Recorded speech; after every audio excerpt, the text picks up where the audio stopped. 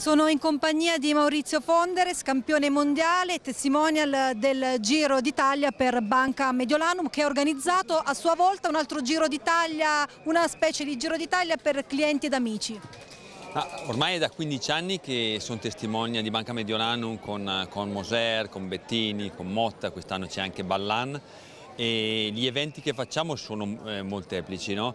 Dal, dalla partenza ai, ai, pranzi, alle cene, dove siamo tutti e cinque, e poi abbiamo due pedalate, una mat la mattina e una nel finale di tappa, e normalmente io faccio, faccio l'arrivo, però ci dividiamo i compiti e quindi pedaliamo anche durante, durante il giro e, no, è bellissimo soprattutto per, per i clienti fare l'ultima parte, no? perché fai l'ultima parte sul percorso in mezzo alla gente che aspetta, aspetta la corsa e penso che questa sia un'esperienza unica perché quando transiti sul rettilineo d'arrivo dove arriveranno i corridori dopo due ore, con già il pubblico piazzato ad aspettare e tu che sei magari un, un ciclista normale non hai mai vissuto una cosa così è una cosa direi emozionante. Come ha visto l'Abruzzo?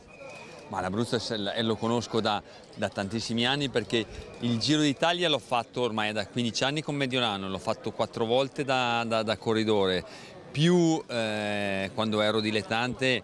L'Abruzzo ha una di quelle regioni che, che ha due particolarità, hai il mare e attaccato al mare hai la montagna. In un'ora e mezza sei a 2000 metri e poi puoi fare il bagno a mare, quindi è una cosa unica, oltre che mangiare bene. E cosa ci dice sull'abruzzese Giulio Ciccone? Eh, Ciccone è andato molto forte perché ha dimostrato eh, al Gran Sasso di, di essere con, con, i più forti, anche se ha sbagliato ad attaccare troppo presto perché uno come lui poteva arrivare nei, nei 5, ma in ogni caso sta, andando, sta facendo un grande giro.